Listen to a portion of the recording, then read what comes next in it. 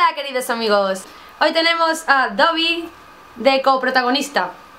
Eh, Hoy quiero hablar de, los pueblos, porque yo soy de pueblo y aunque parezca tan fina y tan y tan de ciudad, pero soy de pueblo, concretamente de un pueblo de Sevilla, del Aljarafe.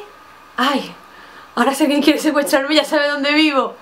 Yo quiero hablar de los pueblos. Y joder, en comparación Madrid con un pueblo, pues vaya tela, ¿no? Eh, se nota la diferencia, pero ya no solo eso, sino que con la gente de Sevilla, de cualquier ciudad, pues no conocen lo que es ser de pueblo y vivir en un pueblo. El otro día mi amigo Ferni me contó que un pueblo se forma con dos cosas. Hay una iglesia y un bar donde hay un borracho. Y en torno al borracho, borracho, no borracho, borracho. Si se dice borracho es que vaya pimplaísimo. Pues en torno a ese borracho, borracho, eh, se forma el pueblo y por eso en todos los pueblos hay un borracho, en todos. E incluso si el pueblo es un poquito grande hay más de uno. O incluso en los pueblos pequeños hay varios. Pero bueno, uno principal y fundamental. En un pueblo, por ejemplo, los kioscos no son kioscos, tú vas a lo mejor por Sevilla, por cualquier ciudad y te ves como un puesto donde venden periódicos y revistas y te venden ahí chucherías, aquí no. Aquí hay una reja y una persiana, que ya la cosa se ha modernizado, porque antiguamente tú llegabas y tenía que llamar pam pam pam a la persiana, entonces te abría una vieja y te vendía la chuchería, ya no, ya tienes un timbre. Tú ya llamas al timbre y te abre... ¿Qué quiere? Nadie sabe cómo llega esa chuchería ahí, porque yo no he visto en mi pueblo un camión de reparto en mi vida, pero chuchería y siempre. Luego también está la tienda. El concepto de supermercado en los pueblos no existe, aquí están las tiendas. Una tienda consiste en un espacio del tamaño más o menos de, una, de un garaje de coche, de hecho la tienda suele ser un garaje de coche, no me preguntéis por qué, y ahora en ese garaje de coche pues hay como varias estanterías, ¿no? De estas de, de lata, de mm, aluminio, yo qué sé, como parecen de los juegos estos de mecano, que tú vas poniendo las piececitas, pues de eso. Y ahora está dividido por zonas, están las cosas de fregar, están eh, las compresas, los champús, las bayetas, allí venden de todo, la tienda y luego en los pueblos no se trabaja con dinero, sino que tú vas a la tienda, coges lo que haga falta y tú le dices, apúntaselo a mi madre. Entonces vosotros estaréis diciendo, bueno, y eso son las tiendas, la carne y todo eso donde se compran. Pues tenemos la, charcutería para la carne y para, para, los embutidos, que yo en verdad de chica me preguntaba que la charcutería que qué coño era, porque ¿que venden charcuto? ¿Que, que, que, que solo charcuto? Charcutería. No tengo ni idea, pero se llama así. Y luego está la frutería. Pues no, frutería no hay en los pueblos. En los pueblos hay un hombre con una camioneta que va por todas las calles pitando, entonces salen las viejas o las madres o quien sea y compra la fruta. Y ya está, ese es el sistema que hay aquí.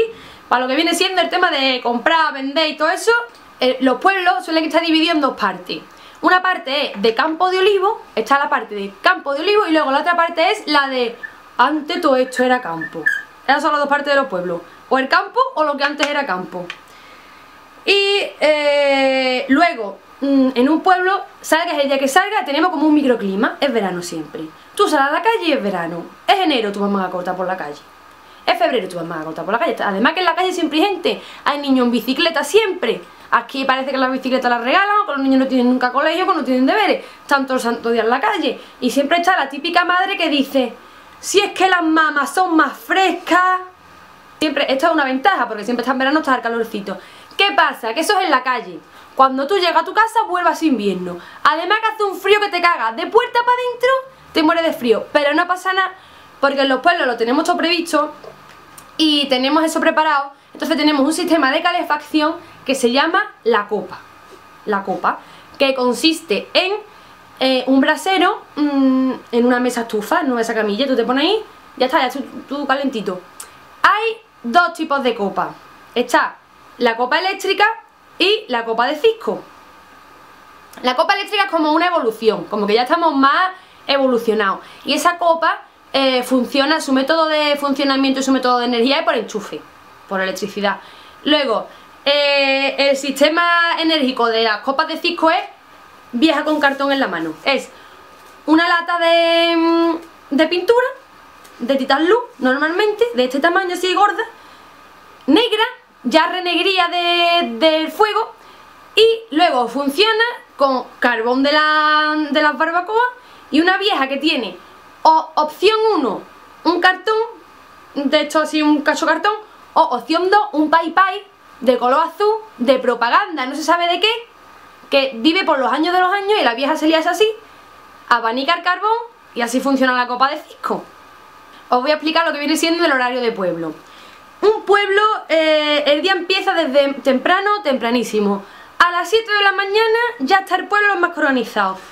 Tú te ves a las 7 de la mañana todos los barcones y todas las puertas abiertas. Porque lo primero que hace una madre de pueblo es levantarse y estirar todas las camas. Le quita toda la ropa a las camas, las pone así, abierta. Y ahora abre todos los barcones, todas las ventanas, todo abierto. Y ella dice, para que se ore, para que se ore dejan las camas y todas esas cosas así, deshecha para que les entre el aire, y ellas se van a la puerta a fregar a fregar la puerta, a fregar la acera y la calle. Y tú lo primero que ves en un pueblo a las 7 de la mañana es un montón de puertas abiertas, un montón de camas deshechas y el agua por las calles rulando de los cubos de fregona de tirarlo. En la, en la plaza del pueblo, que hay cinco bancos, cuatro de ellos están vacíos y en uno hay tres viejos, que están allí con su bastón hablando de sus cosas y ya se quedan ahí para todos días. O sea, empiezan a las 7 de la mañana y ya empalman. De hecho, yo creo que no duermen, sino que se quedan allá hasta el día siguiente. Y luego están los otros en... Los otros viejos del pueblo están en la peña, porque en los pueblos siempre hay una peña de algo. Una peña de fútbol, una peña flamenco, una peña de baloncesto, una peña de, de lo que sea. Una peña hay, y la peña sirve para qué? Para que los viejos estén en la puerta, allí sin comiéndose unos hartamuces, en las rejas de las ventanas. Que todos los viejos tienen mascota, que no es un perro ni un gato, que eso eh, la palabra mascota está incluida dentro de palabras de pueblo. Cada pueblo tiene sus palabras y en cada pueblo es diferente. Tú no puedes decir una palabra de un pueblo que signifique lo mismo en el pueblo vecino. La mascota aquí es en otro lado otra cosa. Después están los tipos de saludos. En mi pueblo, por ejemplo, tú dices voy. Esos son los más rudimentales. También estamos los más normalitos que tenemos nuestro saludo que es ¿qué plan? Yo cuando digo en los sitios ¿Qué plan? ¿Nadie me entiende? Pues el ¿qué plan? significa Hola, ¿cómo estás? ¿Qué vas a hacer? ¿Qué planes tienes? ¡Todo en uno! ¡Todo! Pues, ¿qué plan? Sirve para cualquier cosa. Es muy fácil de contestar. Yo te digo, ¿qué plan? Y tú me puedes decir, bien, aquí estamos. Hoy te digo, ¿qué plan? Y tú me puedes decir, pues voy para clase. Hoy te digo, ¿qué plan? Y tú me puedes decir, buf, tengo una bajona. En fin, es un comodín. Empecé a usarlo y patentar el qué plan porque la verdad que sirve para todo otra cosa que tenemos en los pueblos ¿eh?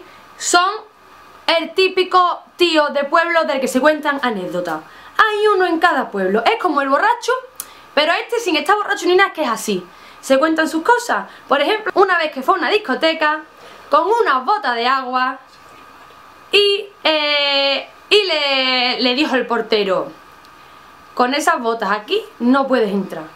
Y contestó él, Compare, pues sí que tiene que estar embarrado ahí dentro para no poder entrar con estas botas. Otra vez, que este mismo personaje estaba en la calle y, le, y pasó un hombre que no era de aquí, que por cierto, a la gente que no es de aquí se le dice forastero. Pues pasó un forastero y eh, le dijo, perdone, ¿esta calle dónde va? Contestación, esta calle no va a ningún lado, esta calle se queda aquí. Otro día que fueron para ir corriendo diciéndole, corre, corre, corre, que tu coche se lo está llevando el río. Y contestó él, sí, tengo la llave aquí en el bolsillo, se la va a estar llevando el río. Último, ¿qué es lo que tienen todos los pueblos, todos, todos, todos?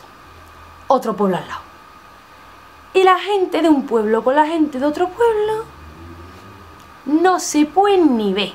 Pues nada, un saludito y si queréis que hable de alguna otra cosa con mi inteligencia y os explique, pues yo que sé, cosas varias, pues nada más que tenéis que hacer dejarme un comentario.